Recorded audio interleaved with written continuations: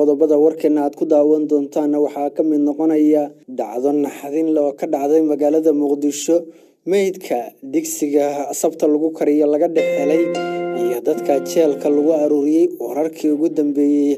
Xaafado ka mid ah magaalada muqdisho oo howlgallo baadigooba weli uu ka socdo qorshaha villa soomaaliya oo isbedelay iyo rooble oo laga mamnuucayo inuu wado kulamada uu la leeyahay midooda murashaxiinta mucaaradka iyo xubnaha siyaasad ahaan loo arko inay khatar leeyihiin. Galmudug oo kala dirtay guddigii doorashada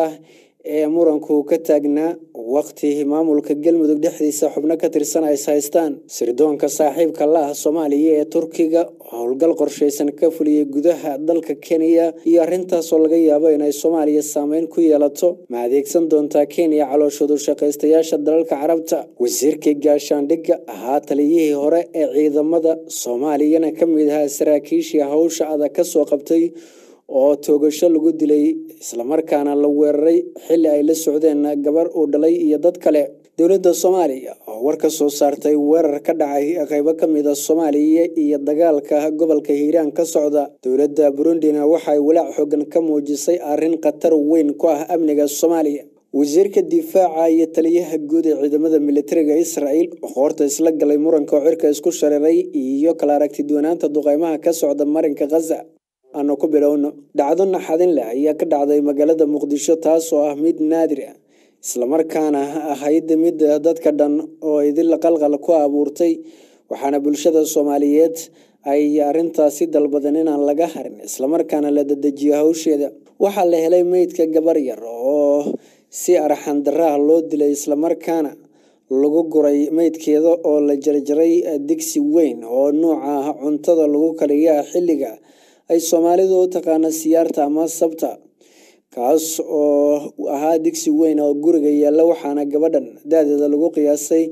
ilaa kow iyo toban sano jir sida ay noo sheegeen dadka deegaanka.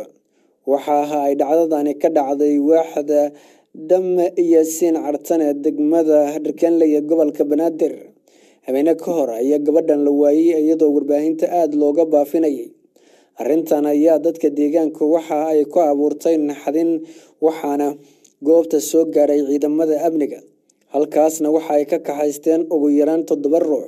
oo ay ku jiraan dhammaan xubnaha qoyska gabadha la dilay ee la jarjaray meydkeeda sida ay sheegeen aabbaha iyo hooyada xaafadda mas'uulka ka ahaa ayaa xabsiga loo taxaabay kuwaas oo la sheegeen ay gabadha dhaleen. Hay'adaha amniga ee dowladda federaalka ayaa waxay sheegeen in dhacdadan ay tahay mid naxdin badan una baahan in si adag looga jawaab celiyo. Villa soomaaliya waxa ay bilowday tillaabooyin. Ay ra'iisul wasaare kaga mamnuuc waa ra'iisul wasaare rooble kaga mamnuucayso inuu sii wado. Kulamada uu la leeyahay xubnaha midooda murashaxiinta mucaaradka iyo siyaasiyiinta. Nacaybka siyaasadeed uu kala dhexeeyo madaxweyne farmaajo. Ra'iisul wasaaraha xukuumadda soomaaliya waxaa soo wajahaya cadaadis kaga imaanaya dhinaca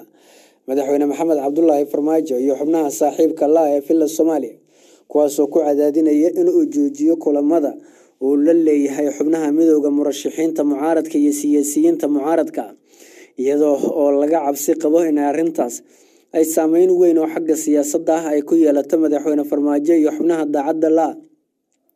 ama daacadda u ah ee kala shaqeeya dhinaca dib doorashadiisa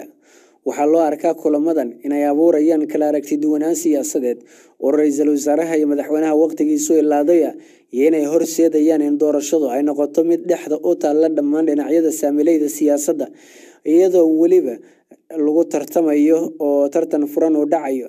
waxay villa soomaaliya ay doonaysaa in ay si un wax u xeeriso islamarkaana ay qaado tillaabooyin loogu dhowaanayo in farmaajo uu noqdo mar walbaba qofka ugu horreeya ee hanaanka doorashada saameynta badan ku yeesha islamarkaana go'aanadeeda kama dambaysta ah gaara madaxweynaha uu muddaxileedkiisuu dhammaaday maxamed cabdulaahi farmaajo. Iyo waa taliyaasha ciidamada agaasimayaal iyo mas'uuliyiin golaha wasiirada ka tirsan ayaa arrintaasi ra'iisul wasaare rooble ku riixaya islamarkaana ku cadaadinaya inuu joojiyo kulamada gaarka ah ee siyaasiyiinta mucaaradka. Maamulka galmudug ayaa kala diray guddigii farsamo ee doorashada islamarkaana ahaa guddigii muranka badan abuuray maamulka galmudug ayaa muujiyey in uu qaadayo tillaabooyinka madambeysa islamarkaana meesha looga saarayo dhammaan arrinta muranku uu ka taagan yahay ee ay ka mid yihiin guddiyada kala duwan ee guddiga heer federaal iyo sidoo kale guddiga doorashada golayaasha deegaanka ee maamulka galmudug iyadoo maalmihii la soo dhaafay uu taagnaa muran xooggan oo la xiriidha guddiga farsamo ee doorashada golayaasha deegaanka ee magaalooyin dhowr oo ay ka mid yihiin caabud aqbalan balle iyo cadaado la yskuna hayay arrintaas. Waxay galmudug ay kala dirtay guddiga farsamada ee arrinta muranka badan dhalisay. Sidoo kalena waxay galmudug xeerinaysaa sida la xaqiijiyay in ay dib ula laabato xubnaha guddiga farsamo ama guddiga doorashada dalka ee heer federaal iyadoo weliba la arko inay jirto khatar weyn iyo saameyn uu leeyahay wasiirka wasaaradda arrimaha gudaha ee maamulka galmudug cabdiwaayeel oo saaxiib dhow la ahaa madaxweyne maxamed cabdulaahi farmaajo. Arrintaana waxa ay tahay sida la sheegay mid uu ka dambeeyo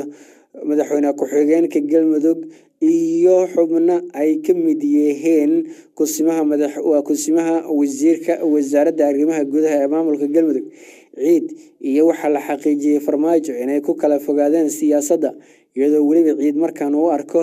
in uu mudan yahay inuu soo baxo shaqsi aan ahayn madaxweyne farmaajo maadaama uu yahay nin dhallinyaro ah oo hami siyaasadeed ee kale dalka wuxuu danaynayaa inay soo baxaan siyaasi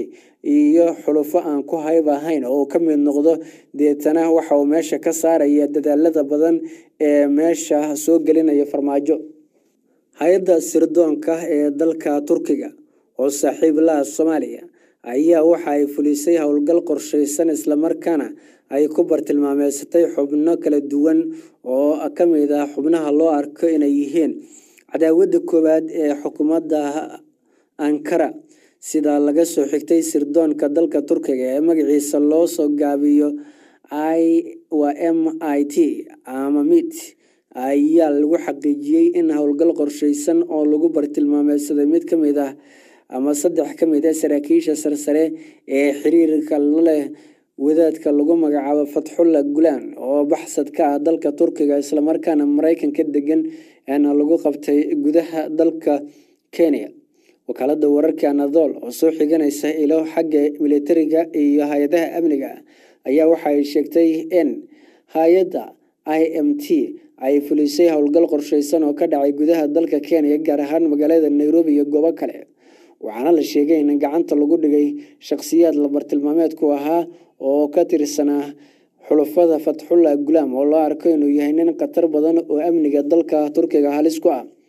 Waxaa tillaabadani qaaday ciidamada sirdoonka oo taxadar badan muujinayay islamarkaana ka guuleystay guud ahaan sirdoonka maraykanka kuwa dalka u k iyo kenya iyo dalalka kale ee israel ay ka mid tahay. Islamarkaana fuliyey howlgal qorshaysan arrintan ayaana laga yaabaa inay abuurtay jawaabo celin khatar ku noqonaysa dhinaca soomaaliya maadaama hay'adda sirdoonka dalka turkigu ay laga yaabo inay saaxiib dhow la tahay hay'adaha dowladda federaalk ee soomaaliya. Islamarkaana gacan ay ka geysato helidda xogaha kala duwan ee xagga amniga ah. Wasiirka howlaha guud iyo gaadiidka ahaana taliyihii guud ee ciidamada militariga mar ayaa weerar culus lagu qaaday waxaana dhintay gabar u dhalay iyo darawalkiisii oo goobta ku geeriyooday kadib markii afar nin oo la socday mooto dhugdhugley ay rasaas culus la dhiceen xilli uu ka soo baxay gaarigiisa islamarkaana uu ku sugnaa xaafadda uu ka degan yahay magaalada kambala ee dalka uganda. Waxaa weerarkan uu ka dhacay xaafadda kisoto ee magaalada kambala ee dalka uganda halkaas oo lagu weeraray kutuma wamala oo ahaa jenaraal sare oo ka mid ahaa taliska sare ee hogaanka ciidamada.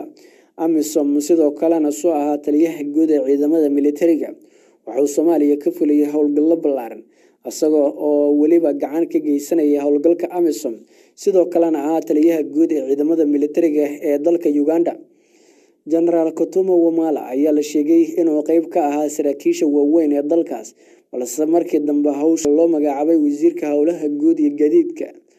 kooxda weerarka qaaday ayaa la aaminsan yahay in ay tillaabooyin argagixiso ay weerarka u fuliyeen. Halka dowladda ugandana ay ku tilmaantay arrintaas mid u baahan baaris dheer in lagu sameeyo. Kooxaha hubeysan ee geeska afrika ka dagaalama ayaa laga welwel qabaa inay ka dambeeyaan weerarkaasi dowladda burundi ayaa walaac xogan ka muujisay xaaladda soomaaliya iyo waqti xaadirkan qorshaha wada midowda afrika oo doonaya inuu dalka ka saaro ciidamada magacooda loo soo gaabiyo amisom. Madaxweynaha dalka burundi oo booqasho ku jooga magaalada kizuma ee dalka kenya islamarkaana la kulmay madaxweynaha dalka kenya ayaa hoosta waxa uu ka xariiqay in muhiim ay tahay in la xoojiyo dadaalada meesha looga saarayo khatarta ay wadaan xubno ka tirsan midooda afrika iyo sidoo kale ciidamada saaxiibka la ah soomaaliya ee howlgalada ka gacan siiya. Eforest iyo madaxweynaha dalka madaxweynaha dalka burundi ayaa sheegay in lagama maarmaan ay tahay in waddamada midooda afrika iyo guud ahaan dalalka ciidamadu ay ka joogaan soomaaliya ay la tashi guud ka yeeshaan ujeedooyinka loo dhimayo tirada ciidamada amisom waxa uu sidoo kale sheegay in lagama maarmaan ay tahay in tillaabo walba oo la qaadayo oo ku aadan ka bixitaanka ciidamada amisom ay tahay mid daraasad gaara iyo tixgelinba siinaysa. Heerka ay gaarsiisan tahay khatarta al-shabaab waxa uu sidoo kale sheegay in haba yaraatee uunan aqbali doonin in howlgalka amisom la soo afjiro marka la gaaro kow iyo soddonka bisha disembar ee sanadkan sida ku cad qaraarka golaha ammaanka ee qaramada midoobey iyo sidoo kale war ka soo baxay golaha nabadda iyo amniga ee midooda afrika. Ugu dambeyntiina wasiirka difaaca israel ayaa iska fogeeyey hadal uu jeediyey taliyaha ciidamada ee waa taliyaha ciidamada israel oo muujinayay in weeraro dheeraad oo duqeymo ah ay israel ka fulisay marinka khaza ee dhulka falastiiniyiinta gaar ahaan xarumaha ay degan yihiin warbaahinta kale ah aljazeera wakaalada wararka associated press f b iyo waa f b. Iyo sidoo kale xarumo kale oo warbaahineed oo la burburiyey waxaa la sheegay in ay dowladda tel aviv ay fulisay weeraro qorsheysan generaalka hogaaminaya ciidamada dalka ayaana sheegay in laga dambeeyey qorshayaashan oo ahaa mid maamulka yuhuuddu uu si siman oo dejiyey looguna talagalay in warbaahinta lagu caburiyo wasiirka difaaca oo arrintaasi ka hadlay ayaa iska fogeeyey sheegana in jananka ciidamada uu lugta la galay arrin aan qusaynin israel islamarkaana dadka uu ka sheekeynayay iyo dalka uu ka hadlayo aynan ahayn. Mid israel ay ka howlgasho ee meel kale uu ka hadlayo wasiirku sida uu sheegay taliyaha oo hadalkiisa dhaliilayay